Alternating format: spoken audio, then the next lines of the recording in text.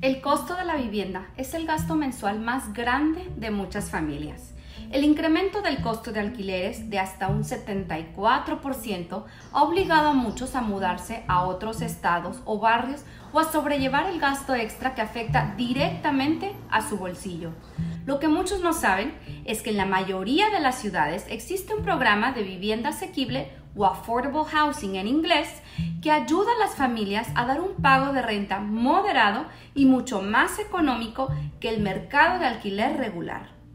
Es un programa que apoya el Departamento de Vivienda y Desarrollo Urbano de Estados Unidos, conocido como HUD, y se le conoce como Vivienda de la Sección 42.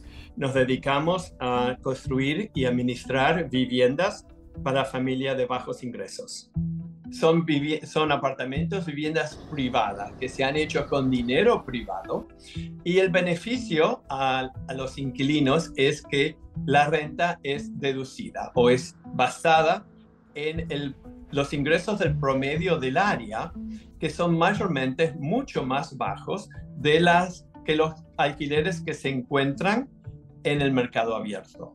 Para ser claros, estas no son viviendas públicas o vouchers como los de la sección 8 que pagan las familias de ingresos extremadamente bajos una gran parte del monto total de una renta. Aquí, el arrendador paga su renta, pero es un monto mucho menor.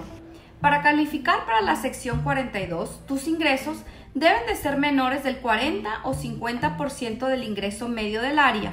Este número lo determina HUD anualmente. Por ejemplo, en Los Ángeles, California, el ingreso medio determinado es de 76.673, así que tendrías que ganar menos de 38.333 para ser considerado. Si el costo medio de una vivienda de dos cuartos en Los Ángeles es de 3.100, pudieras rentar un apartamento bajo este programa por 1.607, ya que el costo se basa en el ingreso medio de la comunidad donde está construido el edificio, no en las rentas del mercado regular.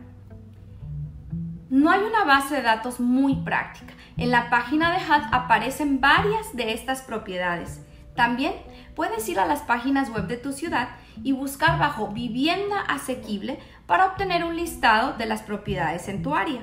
Aunque en la mayoría de los casos se debe llamar a cada una, pedir información y posiblemente te pondrán en lista de espera.